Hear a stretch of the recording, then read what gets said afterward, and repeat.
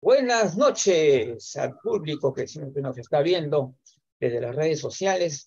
El día de hoy, como siempre, iniciando nuestro programa de cada martes gerontológicos, aquí en compañía de Raiza Morales, como siempre, acompañándome en el programa. Y bueno, hoy vamos a tener invitada a Raiza hoy día, una invitada muy importante que es la licenciada Mercedes Viera Serna, una destacada abogada peruana que sobre todo destaca por su gran labor en favor de, las personas mayores, ya que ella es una especialista en el tema de los derechos y siempre nos está actualizando. Ella es prácticamente una importante asesora dentro de la Central Gerontológica Internacional, ya que siempre nos está actualizando los temas, siempre nos está informando sobre los temas legales que competen al, al grupo de las personas mayores ¿no? en el Perú donde lógicamente, como en toda Latinoamérica, hay avances, obviamente. Claro que obviamente todavía no estamos en, en plano ideal, todavía no, pero por lo menos algo se está avanzando, ¿no es cierto? Siempre hay, y siempre hay personas que felizmente se eh, ayudan, pero también hay los casos de, de, por ejemplo, de que se hacen cosas, eh, unas leyes buenas, se hacen eh, buenas normas, todo, pero que no se cumplen también. Ese es otro gran, ese es el gran problema, uno de los grandes problemas, diría yo, que muchas veces no se cumplen con las normas. Ese es el gran tema. ¿Cómo, cómo hacemos para lograr que todo esto que está eh, estipulado, que está normado, que está legislado y todo lo demás, y que realmente se aplique, ¿no es cierto? Porque ¿qué, qué, qué hacemos si, si las leyes que no tienen eh, los mecanismos adecuados para su implementación, para su uso, para lo eh, prácticamente son como leyes muertas, ¿no? Igualmente, si, lo, si las personas mayores no tienen ningún conocimiento acerca de las normas y las leyes que se han dado, difícilmente ellos van a hacer valer esos derechos, derechos que, que, ni siquiera conocen. Entonces, ese, es un gran tema, un gran tema. Entonces, ah, está, sí, sí. De verdad, ¿tú qué piensas? Eh, igual, igual en toda Latinoamérica, ¿sí o no? Es lo mismo. Eso te quería preguntar para que nos ilustres un poquito más y ahondemos un poco más en preparación a la, a la plática que tendremos con Mercedes Vieira. Tal vez nos puedes explicar de qué norma nos estamos refiriendo específicamente. Es una norma técnica del Ministerio de Salud, ya que que da, digamos, este, las, eh, genera las condiciones adecuadas para la atención a las personas mayores y también hace una definición del papel que cumple la gerontología. Esos son dos aspectos fundamentales de la norma técnica, pero obviamente hay que ver los detalles, ¿no? Y yo creo que la mejor, lo que está mejor calificada por el tema justamente del conocimiento de las leyes de Mercedes, ¿no? Mercedes Viera. Entonces, por eso es que le hemos invitado para, para que nos explique qué tan, qué tan importante es esta norma técnica eh, y cómo se puede y, cómo se puede aplicar adecuadamente y bajo qué condiciones y todo eso, ¿no? Todos esos son temas importantes. Las leyes en relación a las personas mayores han ido mejorando con el transcurso de los años, pero muchas veces, como estamos viendo, Raiza, muchas veces no se cumplen, ¿no? Eh, ajá, justamente, ya estamos llegando por aquí. Eh, entonces, es importante tener, pues, eh, a una persona que sea especialista en la materia para que nos aclare bien todas estas dudas. Muy bien, ahí tenemos ya la presencia de nuestra invitada, la licenciada Mercedes Viera Cerna, muy conocida en el Perú por su trabajo en, favor de los derechos de las personas mayores. Es una gran conocedora del tema, siempre nos está actualizando. y así me lo dice, cuando hay una novedad en el tema, nos informa. Y hoy y sabemos que ha habido una nueva norma técnica y queremos saber eh, qué tanto puede eh, favorecer ¿no? a la atención a las personas mayores. Y también hay, un, hay una parte donde mencionan a la gerontología. ¿no? Como una, eh, algo que tiene que ver con la, con la, salud. Entonces, vamos a, a, tener entonces, ¿qué tal? ¿Cómo estás, este, Mercedes? ¿Qué tal? ¿Cómo estás? Oh, ¿Cómo están? Qué gusto. Es que aquí en el hemos programa. estado en, en, varias cosas en estos días. Ay, socorro, se me mueve. Este, y, creo que es importante verlo del tema este de, de las personas, de la, de la norma técnica.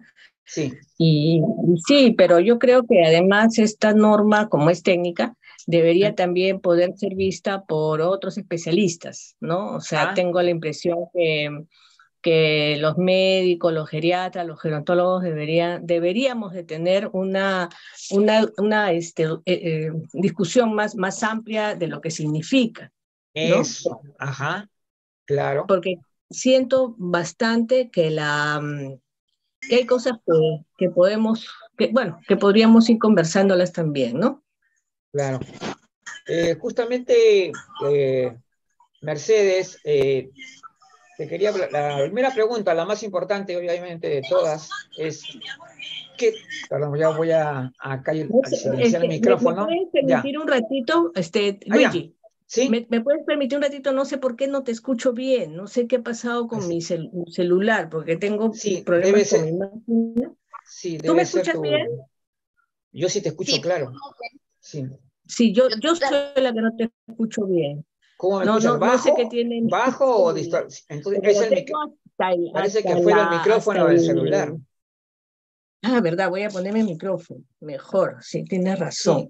yo creo que es eso. Porque, porque Raiza me está escuchando muy bien.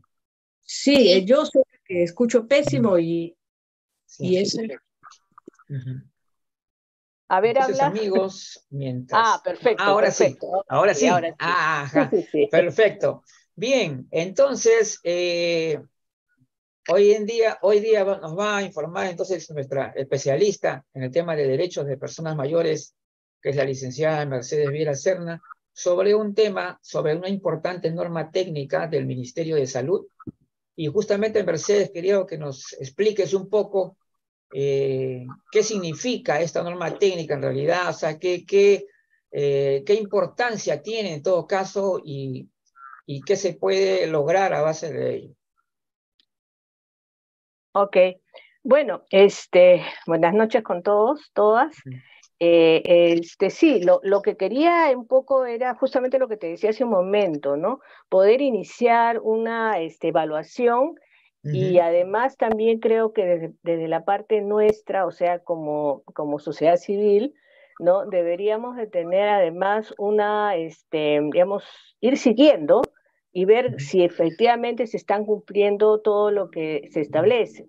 Porque si uno la revisa y uno, bueno, uno que no tiene, bueno, yo lo puedo ver desde el lado más legal, pero viendo eh, qué es lo que se está haciendo, qué es lo que se va a hacer, y este, saber si efectivamente se está cumpliendo. Porque una norma, como siempre digo, es muy, son muy bonitas nuestras normas, pero al momento de cumplirlas es cuando eh, todo esto se cae, ¿no? Entonces, seguimos en lo mismo. Pero de todas maneras quería yo hacer algunas atingencias acerca de la norma, ¿no? En principio, este, ¿por qué una norma técnica? ¿no?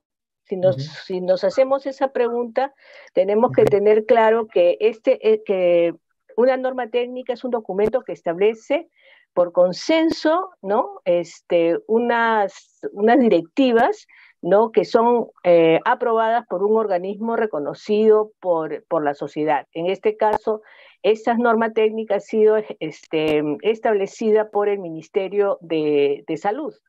¿No? Y, lo que, y lo importante es que lo que fija son las condiciones mínimas, o sea, no lo máximo que puedan tener las personas en relación a su, salud, eh, especialmente las personas mayores, sino lo mínimo, o sea, lo mínimo para que garantizar las condiciones de salud de las personas. ¿no? Pero además también este, regula todo lo que son los procedimientos la gestión de, los servicios médicos, de los servicios este, este, de, sanitarios y además quiere contribuir a una cosa que es muy importante, no a sanar, ¿no? No a sanar a las personas, sino a prevenir. Y yo creo que esa es la parte importante de esta norma, ¿no? Porque habla de eso, ¿no? El objetivo es mantener el bienestar general de la población. O sea, no es este, ya, ya estamos enfermos, vamos a curarnos, ¿no? Sino eh, tenemos una población que puede tener algunos problemas de salud y, esos tienen que ser vistos por la, mm, digamos, por, por, el, por los este, servicios de salud y, y, no solamente este, lo que nosotros conocemos como el Ministerio de Salud, ¿no? O sea, lo, digamos, los centros de salud, sino esta norma está, eh, quiere garantizar no solamente eso, sino eh, los servicios que puedan tener las Fuerzas Armadas, los servicios que da de salud, ¿no? Y también los privados. Entonces, es algo que va encima de lo que es el servicio de salud. Y, como te repito, eso, eso es lo mínimo que deberíamos de tener. Este, y creo que eso, eso le da, digamos, una, una visión hacia el futuro. Por ejemplo, ya dentro de esto que es la norma técnica de salud, ha salido todas las disposiciones especiales para lo de la vacunación, ¿no? que es una, una vacunación para las personas mayores en relación al COVID y otras enfermedades, ¿no? que son preventivas, ¿no? Que, que no van a curar, sino van a, a, prevenir que, que, existan estos, estos problemas. Eh, bueno, después de eso, quería yo comentarles que, este, que eh, además, además que está para todos, este, digamos, todos los que prestan salud o prestan servicio de salud, eh, está también los niveles, ¿no? Los niveles de atención y que tiene que ser aplicado para todos a nivel de nacional. Y se habla em, de, varias, o sea, tiene toda una, una, este, una sección dentro de, digamos, los principios que, que, deben de tener una atención de salud. Eh, una cosa que nos ha preocupado, ¿no?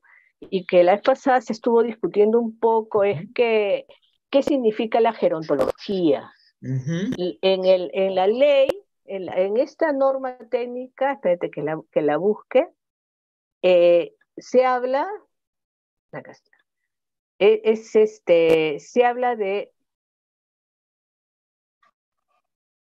Como una...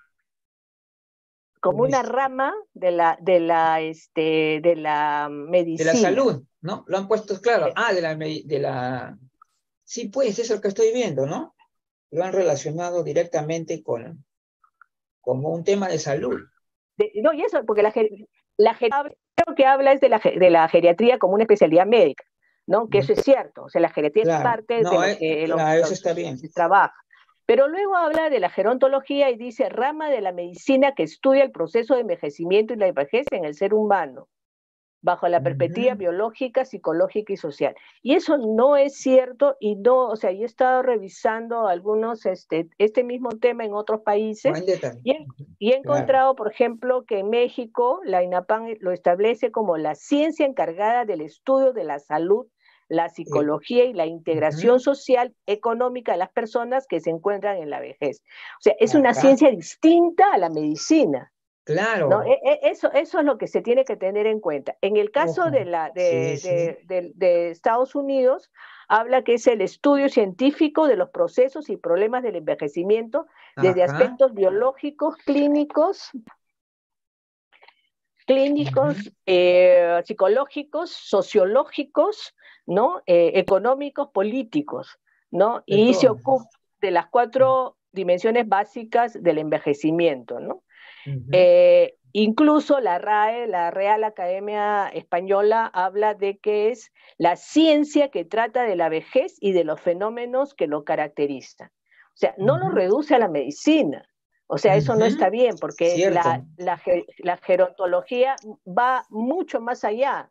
¿no? Y podemos hablar incluso de, todo este trabajo que se está haciendo sobre la economía este, plateada, ¿no? De, la, de, tantos temas nuevos que se están trabajando y que, y que entonces, ¿eso qué es? ¿No? ¿Por qué por qué esta, este, este documento este, engloba solamente lo que es la parte médica, ¿no? Entonces, ese, ese tema, por mm, ejemplo, ese es un punto a revisar. Mm. Claro, y eso sería bueno poder, este, no sé, conversarlo con la con, con, los, con el ministerio, porque creo que eso nos puede llevar a, múltiples problemas en el futuro, porque vemos que no es algo que está establecido en otras palabras, en, otros, este, en, otros, en otras dimensiones. Eh, en fin, esa, esa es la parte, digamos, que nos ha sorprendido a muchos, ¿no? Y que sí creo que, no sé si, si Luigi lo conversamos después, pero sería bueno que desde nuestra posición como sociedad civil podamos, ¿no? que, nos, que nos den una explicación de por qué, de por qué esta situación. ¿no? Pero ya después todas las demás este, eh, cosas que han puesto en relación a, a, la salud de las personas mayores, sí podemos ver que es lo que, lo que, lo que nosotros siempre hemos dicho, ¿no? Y eso, eso es bueno. Creo que, que justamente si, si, se cumpliera todo lo que acá establece, eh, tendríamos pues eh, lo mejor de lo mejor. Por lo menos lo mejor de lo mejor en, términos más de, de, mm, de, este, de proactividad, ¿no? De que la, la o sea, y estar antes de la enfermedad. Eso, eso, eso es una cosa bien importante. Entonces, y por eso vemos que las estrategias que acá se establecen en esta, en esta norma eh, tienen que ver en principio por los equipos técnicos que deben ser multidisciplinarios. ¿no? O sea, el médico no va a solucionar el problema y no solamente con la con, la enfermera, sino con, con la psicología y con, con, la economía, porque si un, si un pueblo se está muriendo de hambre, ¿qué le, qué, qué le vas a dar? ¿no? O sea, ¿qué, qué, qué le está faltando? Esa es la parte que, no, que, que, es importante, por el cual es importante que los equipos sean multidisciplinarios. Por otro lado, este, establece muy claramente como una estrategia que participe la familia y la comunidad. ¿No? Porque son las que contribuyen de mejor manera al cuidado de la salud de las personas mayores. Eh, tenemos nosotros quizás, y eso, eso, eso no debemos de perderlo, una gran, este, una gran solidaridad de, eh, de, cuidados para las personas mayores eh, a nivel de las comunidades, ¿no? Este, en, otros países se están creando, por ejemplo, ya, se han creado este, ministerios de la soledad, porque como cada vez hay personas adultas mayores que, viven solas, cada vez son mayor el número, esto este, significa muchas cosas, ¿no? Significa no solamente eh, el hecho de, que le pueda pasar algo, sino de que qué, qué puede pensar qué puede hacer una persona que está sola, en un solo, eh, sola, ¿no? Que no tiene parientes, que no tiene alguien que le ayude. Entonces, nosotros quizás, yo siento que en el país, a pesar de que sí hay un 30% de personas adultas mayores que vive sola o vives con una persona de la, digamos, de adulta mayor, dos personas adultas mayores, este, sí tenemos redes, ¿no? Y, esas redes no debemos de perderlas, pero, y no solamente no perderlas, sino fortalecerlas, ¿no? Eh, y el, el, otro tema es promover la educación en salud continua y no solamente para las personas mayores, sino para la familia y la comunidad, en todo lo que significa la gerontología. ¿no? Entonces, eso, eso, esa, esa educación nos debe de llevar a entender mejor los procesos de envejecimiento ¿no? Porque tenemos el, la, la, parte que a veces no entendemos es que este, el envejecer eh, es diferente en todas las personas y lo que le hace bien o le, le, digamos, le, le, ayuda a, una, a uno no va a ser igual para todos, ¿no?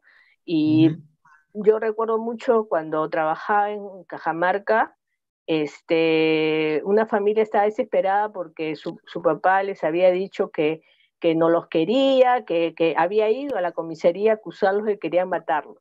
Y yo decía, pero si nosotros lo queremos, nosotros, pero él se escapa y se va a donde la policía a acusarlo.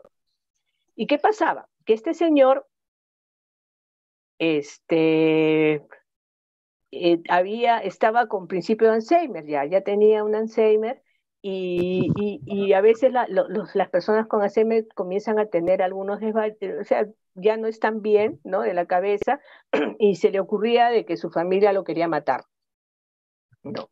Entonces, y entonces eso, eso, este, era una cosa para él muy, muy complicada, para, para la familia, pero decía, pero ¿por qué nos hace daño, no? El señor, este, mi abuelo es una persona que nos está haciendo daño, pero en realidad había que haber, tenía que haber una educación para que esta familia entienda de que no es que, los, que no los quiera, sino que está pasando ya por un proceso de, Alzheimer que no le permite entender las cosas, ¿no?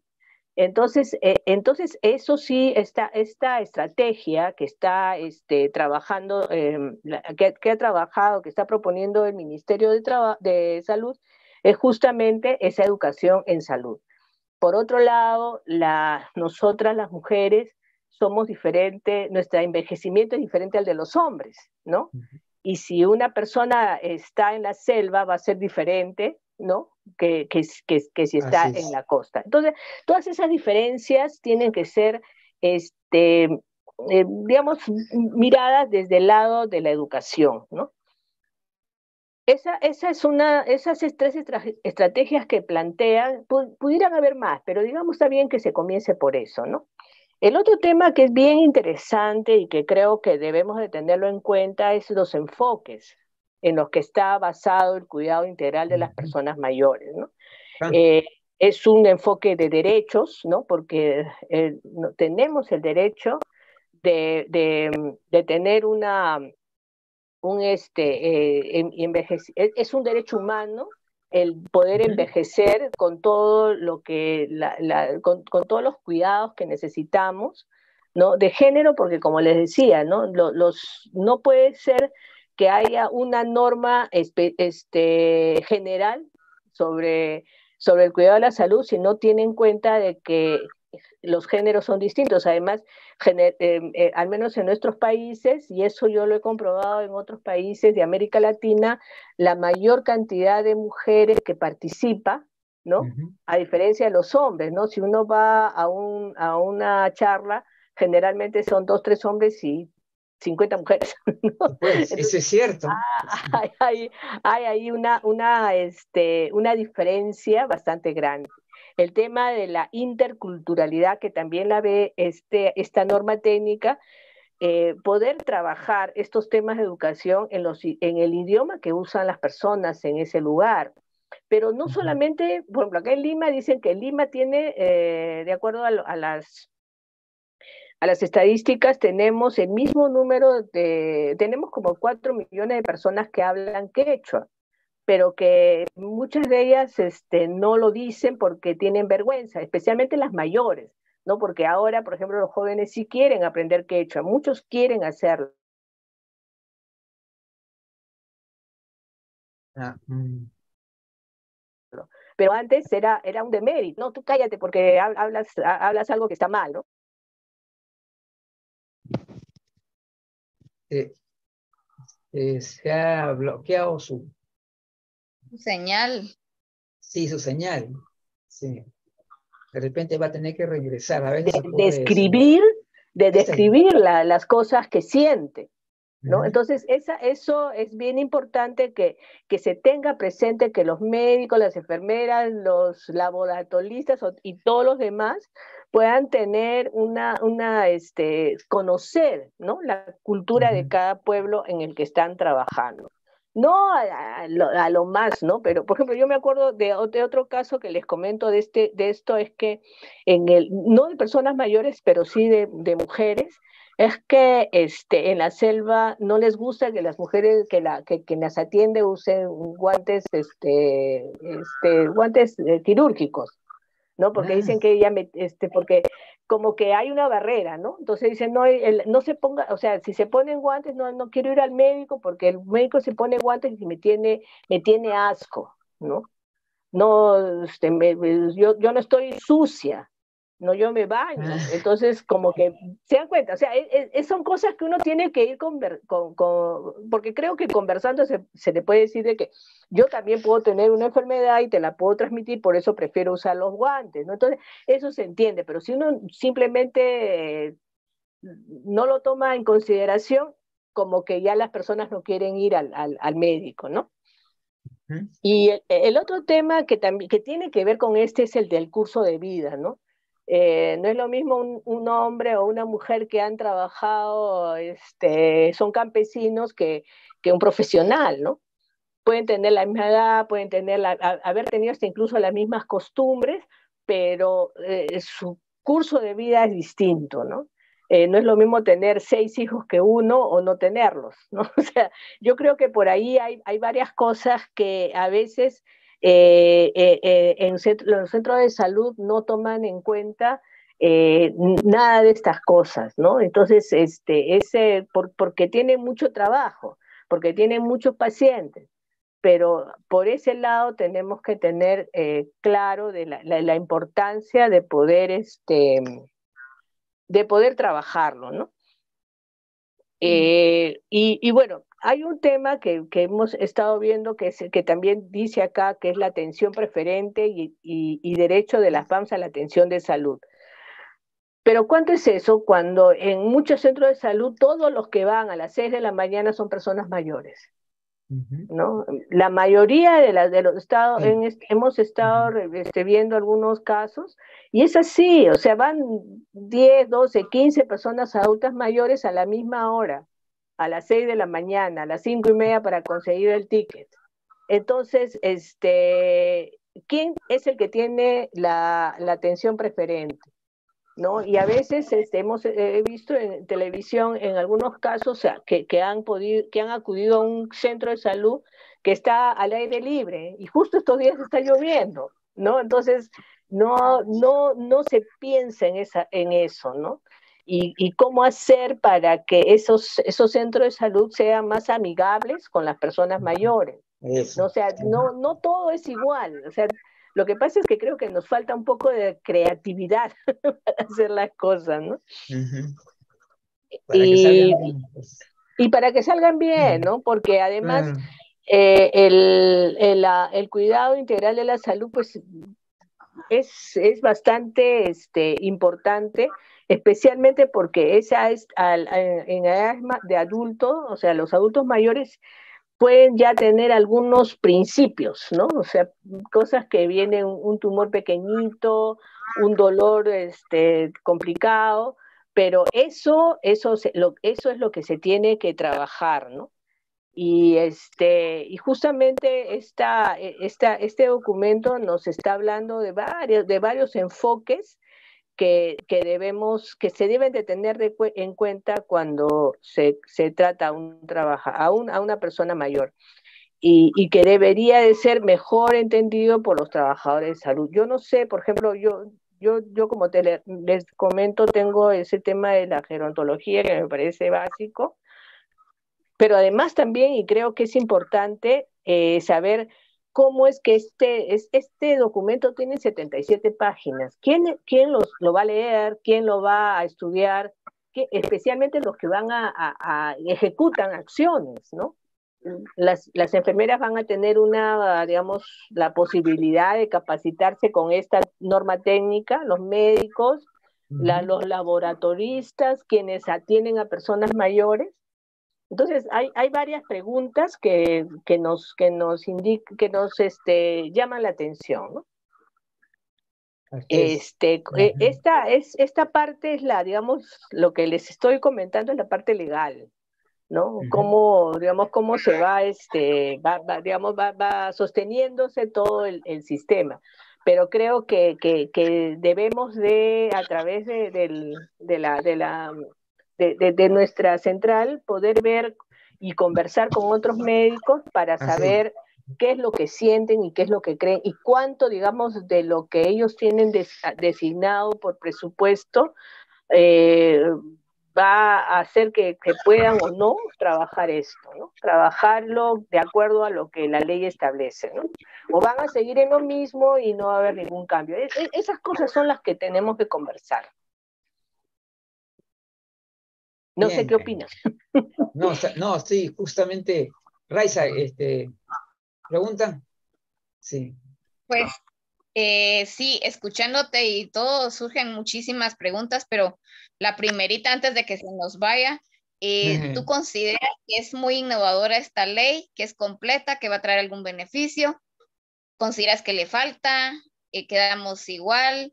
Tú ya nos has dado un panorama, ya nos has hablado que cubre ciertos puntos importantes en cuanto a la prestación de los servicios, en cuanto a la salud, garantizar la entrega de la misma a las personas, em, también hasta las fuerzas especiales y toda la prevención, pero tú, eh, desde tu perspectiva eh, gerontológica y como abogada, ¿qué consideras? ¿Está siendo innovadora? ¿Trae mucho aporte?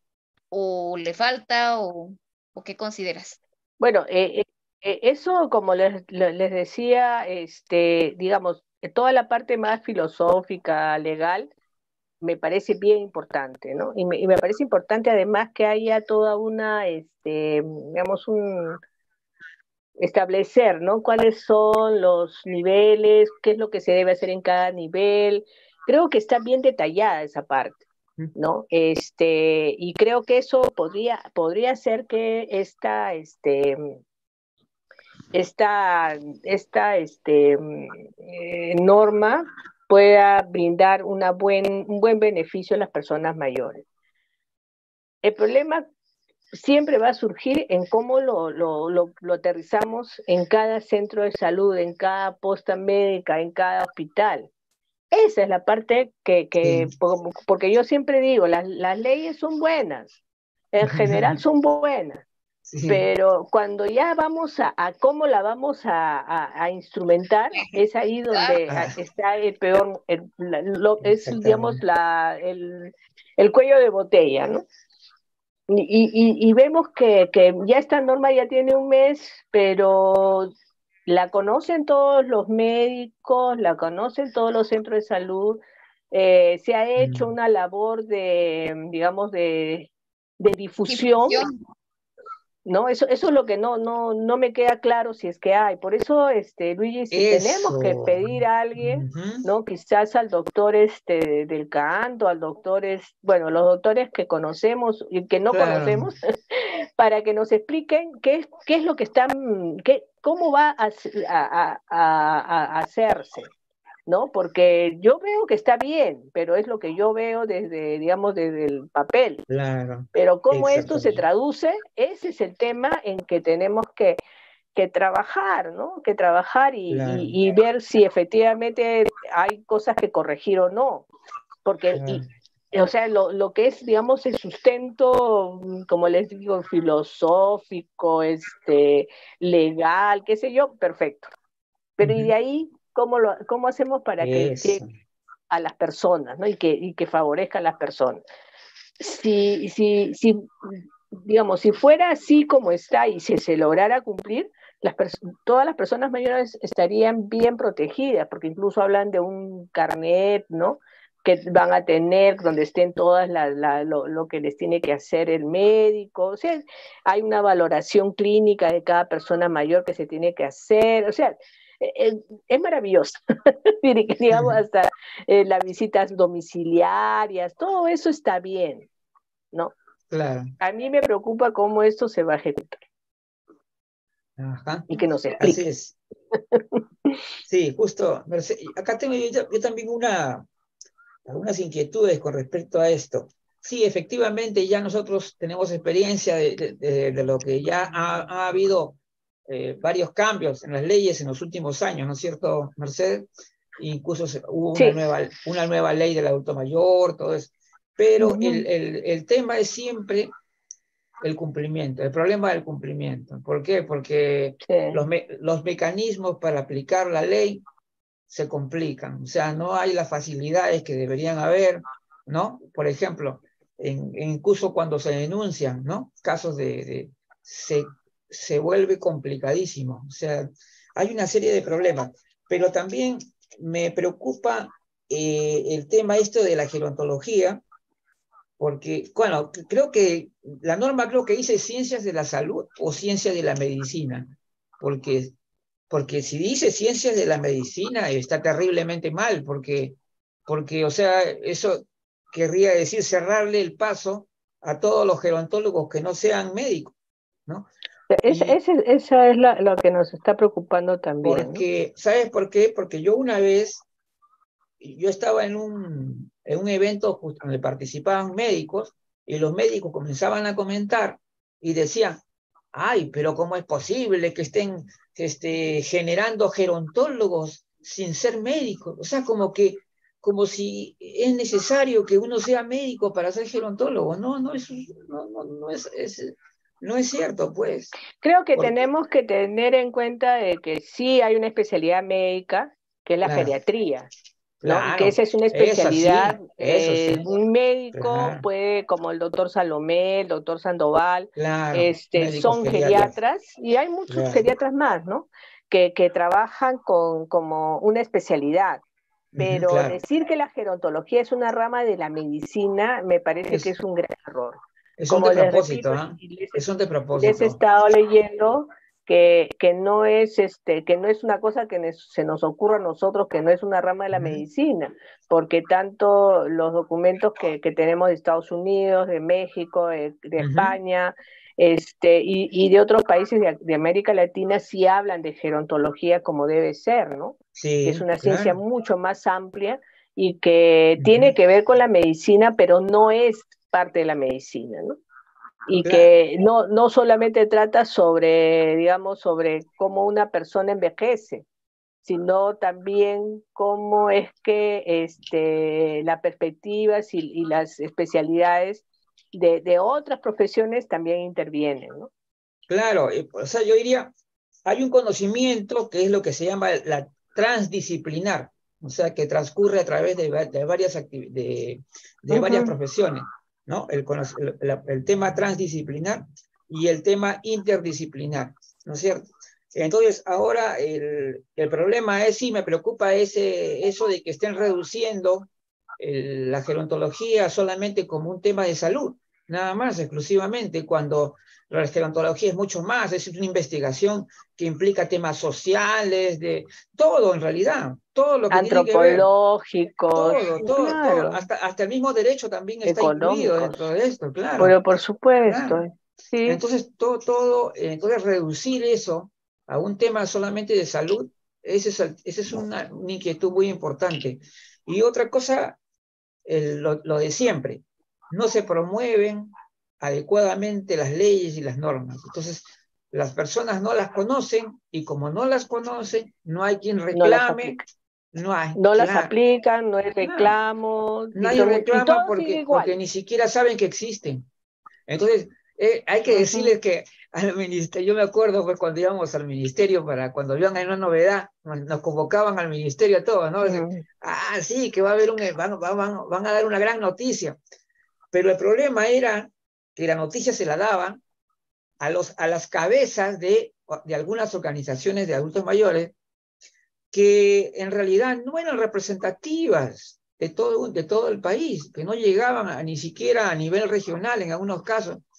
Y entonces, ¿esto qué significaba? Que toda esta información quedaba en muy pocas personas. ¿No es cierto? Es cierto. Sí, sí, eso sí es cierto. Iban los de, o sea, mejor dicho, iban los de siempre, como ¿no? Los caseritos que iban siempre al ministerio, pero eh, la gran mayoría de la población mayor ni siquiera sabía que existía una ley para personas mayores, es la realidad, esa es la tremenda realidad que existe. Y no creo que sea eso. Sí, esa es la tremenda realidad y eso es lo que... Eh, entonces acá hay dos, dos temas. Así como se crean normas y se, todo esto, debería también haber un aparato promotor importante desde la mismo, del mismo Estado. Debería ser más, eh, mucho más este, dinámico en eso. O sea, si el, el, Estado tiene todo, tiene todas las posibilidades, tiene, tiene, tiene medios de comunicación, tiene muchas formas de poder divulgar todo esto. y no cumplen ese rol promotor. Ese es el tema. Y a veces se lo dejamos aquí en, al sector privado, pero el sector privado solamente ve la cuestión de sus intereses privados y no les interesa mucho el tema del adulto mayor, que siempre ha sido un tema marginal, ¿no? Siempre ha sido un tema secundario, y los periodistas que casi no, les, no les importa mucho ese tema, prefieren temas que sean más, eh, que seguramente son, jalan más gente, no sé.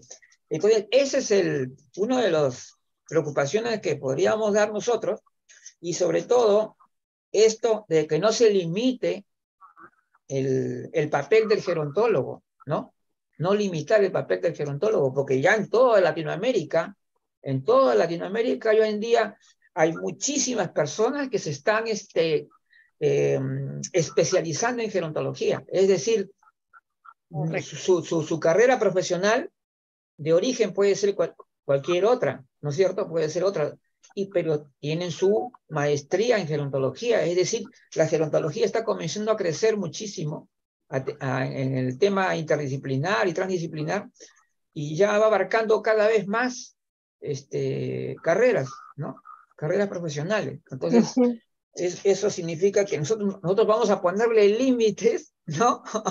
Cuando en todos los países se está ampliando más bien el, ¿no? el ingreso de la gerontología.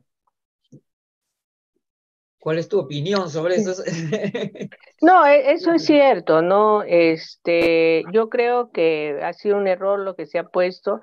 Esperemos que no sea un error, este, digamos, adrede, sino más bien un error de conceptualización. Y, y, bueno, y con todo lo que hemos estado viendo y cómo es que la gerontología es una rama este, de la ciencia en general, este, podemos, este, no sé, un poco ilustrar a los del Ministerio de Salud este, sobre, esta, sobre esta, esta ciencia, que no es una rama de la medicina, sino es una rama de la ciencia, ¿no? La ciencia, este, y que tiene que ver desde desde la, bueno, desde la medicina realmente, con la economía, con las investigaciones antropológicas. Sí. Hay, toda una, una, digamos, es una rama de la ciencia muy amplia, ¿no?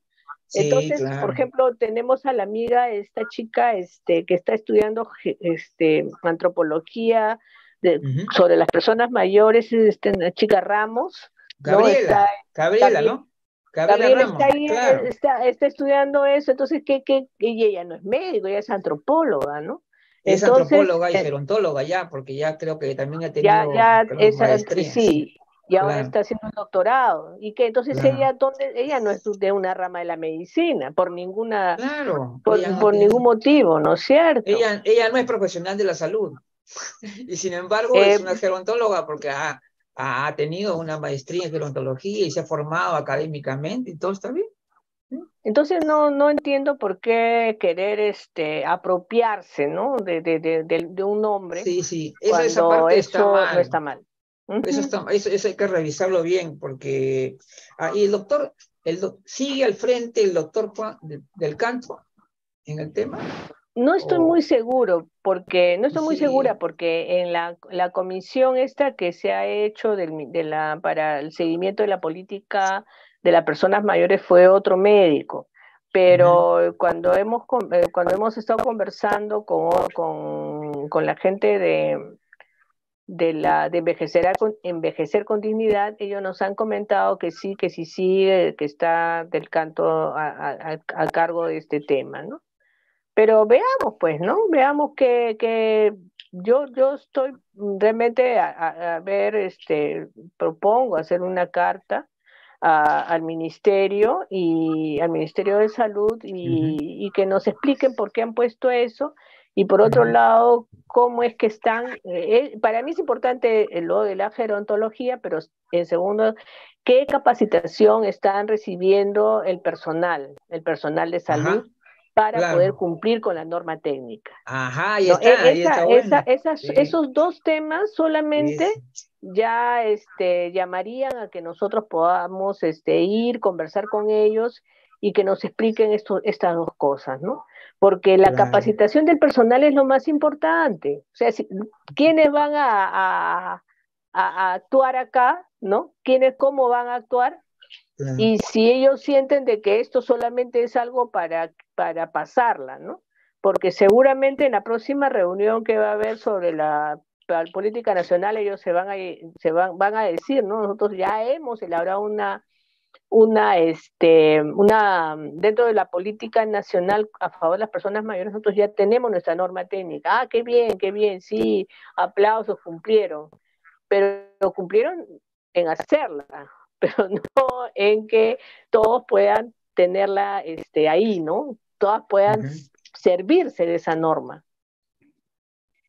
Entonces, hay, hay, esas dos, con esas dos cosas podríamos, este, ¿cómo se llama? Hacer, y, eso también llama para que otros, otros sectores también tengan este, una, una visión de esto, ¿no? Porque acá se habla no solamente del, como les repito, ¿no? Lo que es el sector salud, ¿no? la salud está visto no por, la, por los hospitales que tenga o que maneje, sino como una como un digamos el que el que tiene toda la responsabilidad pero está los servicios este, privados a los de miembros de las fuerzas armadas a la a, la, a, los este a los a la gente de salud. Entonces no es solamente que el ministerio va a, cómo se llama a capacitar pues a los que a, los que están en los hospitales o en los centros de salud de Lima y que están este, adscritos al ministerio, sino a todo el resto, ¿no? A todo el resto. Y, lo, van a hacer, cómo lo van a hacer, qué es lo que, cuál es el primer paso. Por otro lado, también están las regiones, ¿no es cierto? O sea, no, Lima no es todo. Tenemos que ver que, cómo van a capacitar a las regiones, van a ir, eh, ya han llamado, ¿qué, qué, qué, qué es lo que están haciendo? Eso es lo que a mí me preocupa. ¿no? Cierto. Bueno, ya estamos, eh, ya se nos ha ido la hora bien rápido, porque realmente está tan interesante. La conversación con Mercedes es un tema, pero que tenemos que seguir revisando ¿ah? y incidiendo ahí, ¿no, Mercedes? para que las cosas se apliquen bien.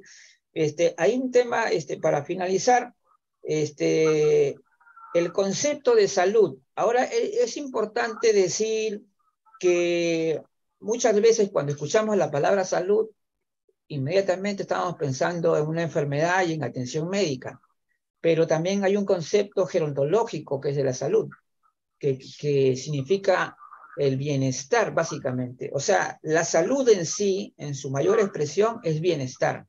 Es decir, estar bien física y emocionalmente, mentalmente. Eso es la salud en su plenitud. Si lo vemos en ese sentido positivo, no sería nada malo decir, bueno, eh, si, si, si, vamos a, a, definir la salud en esa, en esa forma positiva, podría decir, bueno, que la gerontología podría ser una ciencia de la salud contemplándola en un sentido amplio, es decir, que a través de todo lo que es el bienestar y el bienestar de la persona que significa tener derechos también, tener derechos, tener este, derechos para, para todo, para tener acceso a la cultura, a la educación y a todo. Si lo vemos eso como la salud como bienestar, eso ya cambia la cosa, pero el tema es cómo, cómo conceptualizan, como tú, también lo has nombrado por ahí, ¿no? ¿Qué cosa es lo que están queriendo? Eso es lo que me preocupa a mí. ¿Qué es lo que querrán decir cuando dicen ciencia de la salud? Entonces, ah, esto es eh, bien interesante. Bueno, ahora sí ya se nos pasó la hora, pero entonces, Mercedes, muchísimas gracias, realmente te reitero y, de hecho siempre vamos a contar contigo porque ella realmente que eres la especialista no, y aparte que en todo, en toda América Latina tienen este tipo de problemas. Eso sí está, eh, no hay ningún país de América Latina que tenga una perfección absoluta en, en todas las normas, y todo, en todos, todos, todos. Tal vez en Europa están más, están más avanzados, pero todavía en América Latina falta mucho por hacer. Y eso es muy común a nuestros países porque aquí todos, acá somos una red iberoamericana, ya la central Gerontológica Internacional, que es un nuevo nombre, ya saben que es el nuevo nombre, ¿no? Ya, ya, el nuevo nombre de la institución. Y bueno, entonces para, antes de despedir ya el programa, para ir diciendo que el día, bueno, el día sábado, como siempre, tenemos el programa, el programa de los sábados, que es a las 5 de la tarde, con diálogo gerontológico abierto. Es decir, vamos a, conversar sobre varios temas de actualidad gerontológica y todas las personas que se quieran unir a la conversación lo pueden hacer el día sábado a las 5 de la tarde.